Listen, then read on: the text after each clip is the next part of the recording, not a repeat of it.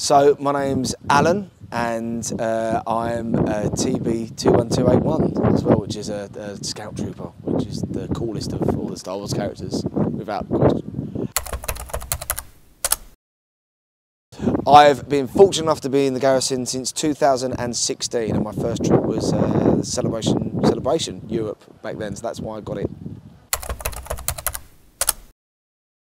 So I joined the garrison because um, I didn't know garrison existed. That's that's the craziest thing. I, I kind of wrote a bucket list when I was a very young boy, and on that bucket list, um, I wanted a scout trooper costume, and um, I was fortunate enough to meet members of the garrison outside a very popular toy shop in uh, in London, and I got talking, and you know I was amazed that these people with such costumes and dedication existed and that were there, and then did my little research on the forums and found people, and initially kind of just wanted the costume in the same way that people collect you know figures or toys or whatever, um, and then kind of got embroiled in this very rewarding world.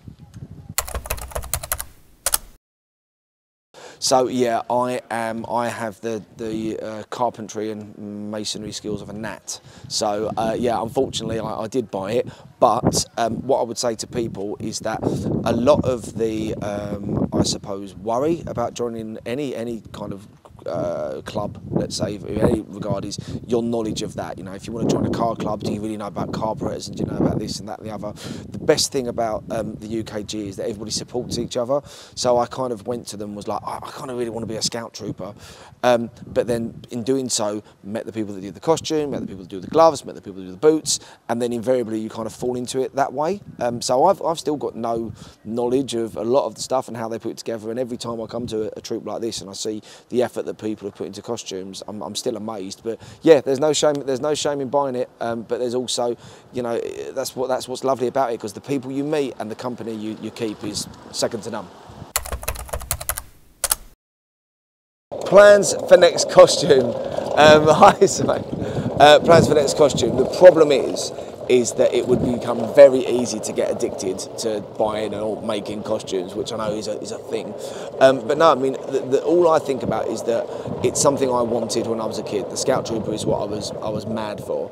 Um, but I've kind of got a little thing about clone troopers at the moment. I've got someone over here that is knows that I want to buy a clone trooper um, because I think when you've got kids, you look at the prequels with a new light, and um, even though there's elements of those movies I don't like, quite big ones.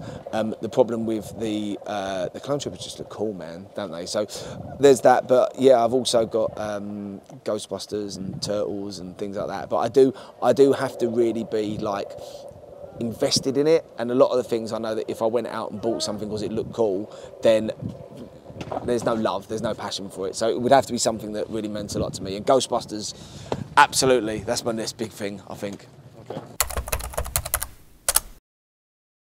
My best trooping moment ever.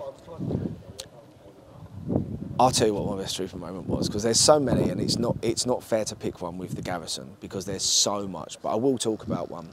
So when I was about 13 14 years old I dressed up uh, I worked at a popular stationery shop that's everywhere and um, one day I suppose this is where kind of my love for it came one day, uh, my boss at the time said to me, "Oh, a movie comes out next week on, on video called The Phantom Menace. Do you know it? And I was like, yeah. And they're like, because oh, they told me you might like it and want to be part of it. Um, can would you mind dressing up? So I was like, no, I'll be Obi Wan Kenobi. So I went home and I, and I literally made all this gear myself and got like I had hair back then and I had all my hair back and a little thing like down here and whatever. And like she was like, I'll oh, just you know you know. So th- that was that. And a week went by and I turned up the next week at work and they're promoting this movie and they gave me like a flick out lightsaber and they said to me, go down into the basement um, where all the newspapers papers were and everything and, and try out some moves because they were like, we've got someone in that's done all like the Darth Maul makeup and that'd be really cool. I was like, oh yeah, wicked, that'd be great.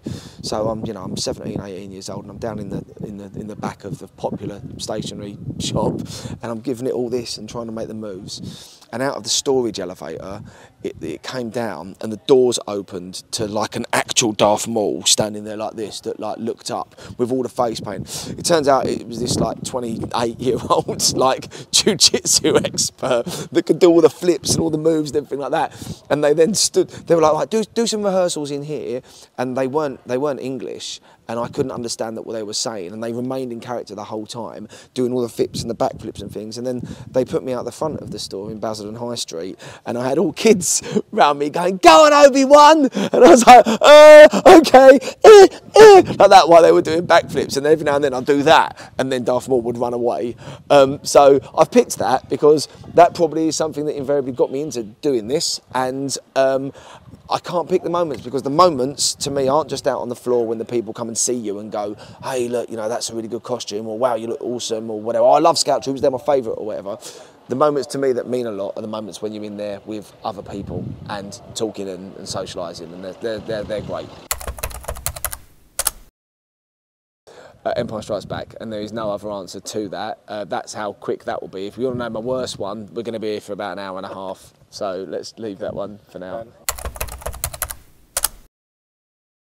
Do I get to grab Jar Jar's tongue if he went for an hors d'oeuvre without me knowing? Would that be a would that be a thing?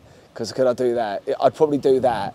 Um, and if not, I've got I've got to eat with them because there are some people. Maybe Vader, because that'd be interesting how he'd get it in. Because um, that's a question, isn't it? But uh, Han Solo would be cool because the fun. Leia's Leia. Um, but yeah, probably a, a good listener. So R2D2. He's the man.